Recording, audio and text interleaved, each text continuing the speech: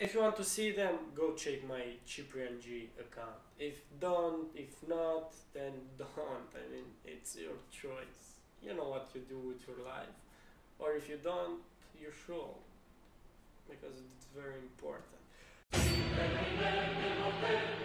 Hello, you. This is Ciprian G. At the present and precise moment of 6:49 p.m.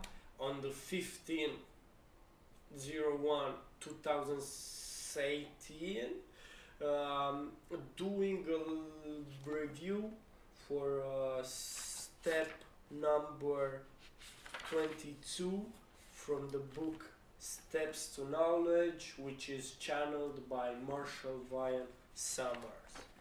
So step number 22 uh, it's called I am surrounded by the teachers of God you are indeed surrounded by the teachers of God. We are surrounded by the teacher of God. That's what the step says. That's what I wrote about. That's the practice I did. So, step number 22, I did on the 10, 10 January 2018, which is five days ago. And uh, yeah, I am surrounded by the teachers of God. Keywords uh, surrounded, teachers of God, feel the presence, no other thoughts, uh, to love, support, and direct. Uh, practice number one was done at uh, at 201 until 220 p.m.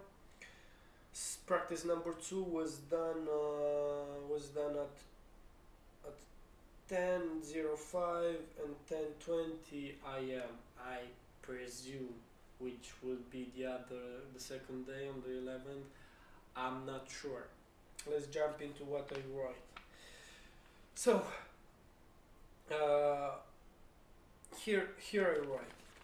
As much as I try to feel this presence my focus of attention keeps going to my mind which keeps trying to reason it out. Uh, so yeah, as, as, as I try to, so basically the step you should try to feel the presence of these uh, teachers of God that are uh, within you and around you, which is the same thing, but we perceive it differently. But hey, so uh, as I tried it, as I was trying to feel this presence, my mind just kept asking for focus, trying to reason reason it out, reason the whole thing. Like, where are they? How do I? Anyway, you understand what I mean. Mind just ask for reasons and explanations, but sometimes feeling is quite different from that. Okay, let's keep going. At first, I could see myself from an external point of view, being surrounded and hugged by these luminescent human shaped beings. Uh, and then, mostly in the second practice, I could see myself from the first person viewpoint of being hugged.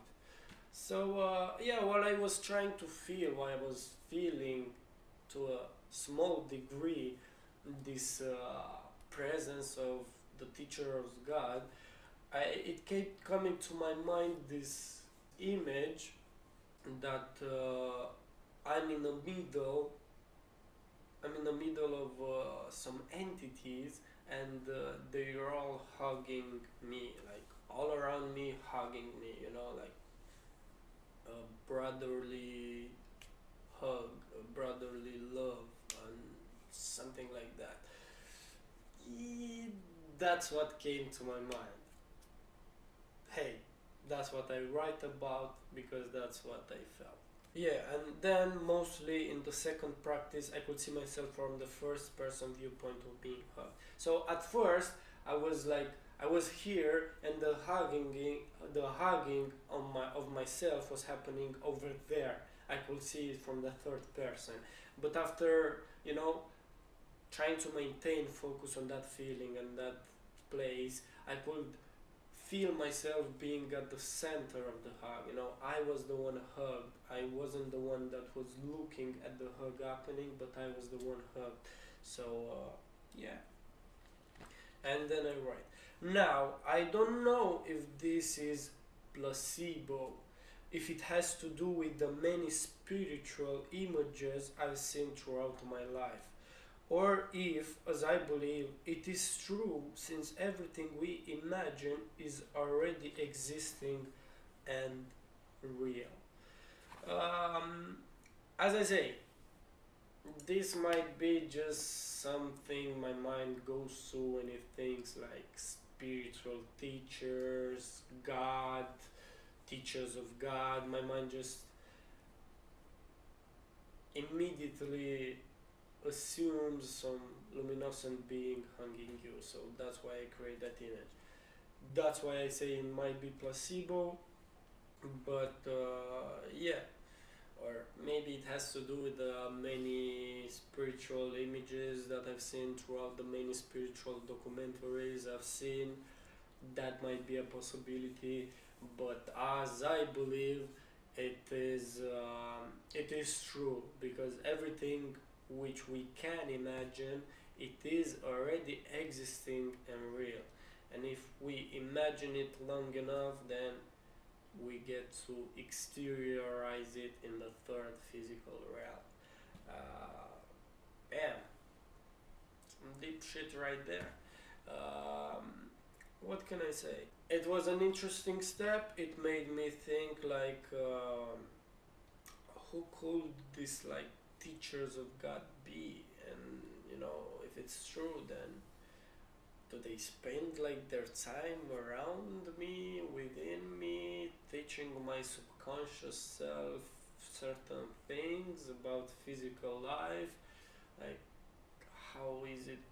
How does it work? Like, and that's my mind. You know, you can see why why I wasn't really feeling the thing, but I was more like explaining the thing or trying to reason it out you know it was a little bit of both so uh, yeah i guess this was step number 22 from the book steps to knowledge channeled by Marshall Vian Summers this has been Ciprian G and I thank you for having watched the video and uh, if you would like to see some more steps from Steps to Knowledge, feel free to check my Ciprian G Steemit page where I post them every day. Not every day, but I post every one of them there. Which the steps I do daily, the recording not yet because there are so many things to do. But I'm getting off track here if you want to see them, go check my Ciprian G account. If don't, if not, then don't. I mean, it's your choice. You know what you do with your life. Or if you don't, you should. Because it's very important. Yeah, Ciprian G, thanks you for having watched, for being here, and hey, I'm out. Bam.